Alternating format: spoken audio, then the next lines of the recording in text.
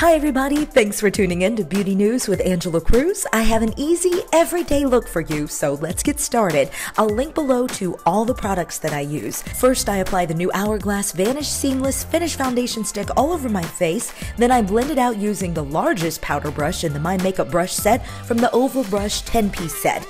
I apply Too Faced Shadow Insurance all over my lid.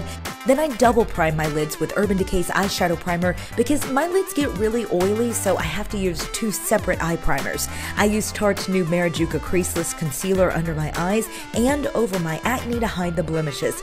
With Laura Mercier's translucent powder, I use the poof all over my face, pressing into my skin to better help the powder to set. Then I go in with Bare Minerals Faux Tan to kind of warm up my face.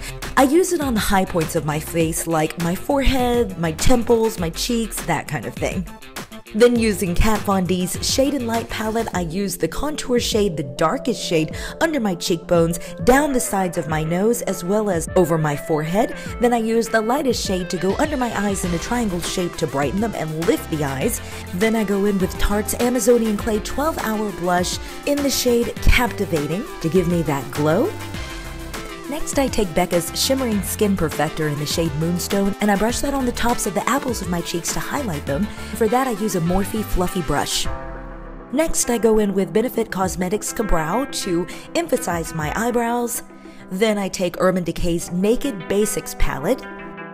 Just click below and one of the links that I will have down below for you if you want a more detailed look at how I did my eyeshadow. The magic is in the brush. I use the Sigma E40 tapered blending brush and it's amazing. To highlight the inner corners of my eyes, I use CoverGirl's single eyeshadow in the shade Champagne like I always do. Then I line my lower water lines of my eyes using MAC's eyeliner in the shade Costa Riche. Then on the top I use the black shade from Girlactik Liquid Eyeliner and I curl my eyelashes and finish off with a coat of Charlotte Tilbury's Legendary Lashes Mascara. Then for my lips, I use Kylie Cosmetics lip liner in the shade Koko K. Then I fill in my lips using Tarte Cosmetics Tarteist Glossy Lip Paint in the shade Goals. I absolutely love this lip paint.